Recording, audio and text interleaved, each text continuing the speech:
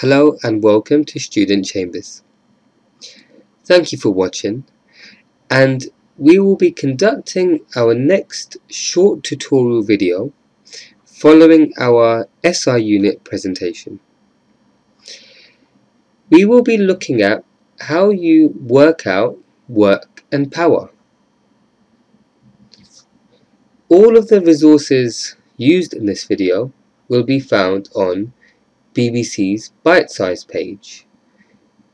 It will be under the Science section and in the Physics category. So let us begin by looking at what is work. Work is done whenever a force moves something. Everyday examples of work include walking upstairs, lifting heavy objects, pulling a sledge and pushing a shopping trolley. Whenever work is done, energy is transferred from one place to another. Now, this is an important topic within electrical installations.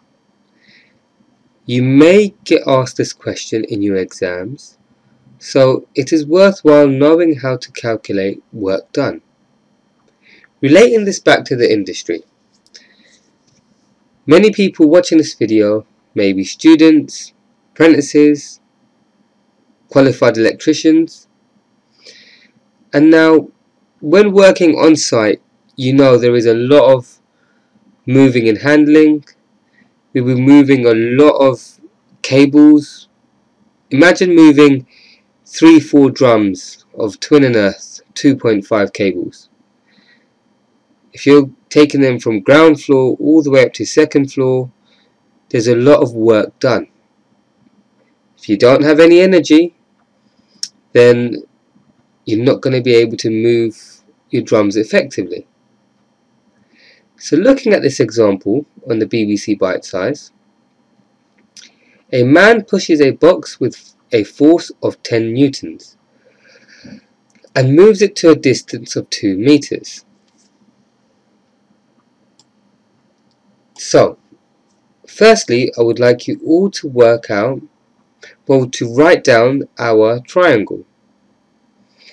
This is our, our work done triangle.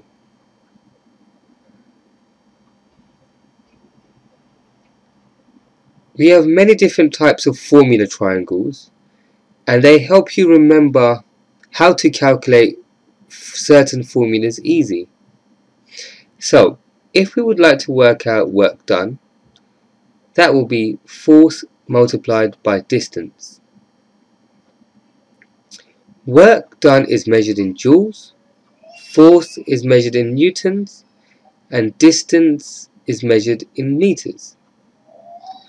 So what you would have to do is the force is 10 newtons that the picture above and the box is moved by 2 meters.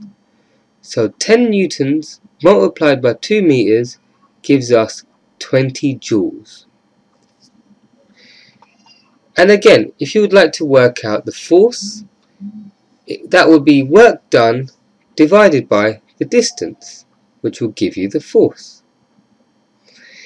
So this is just a short tutorial on how you work out work done.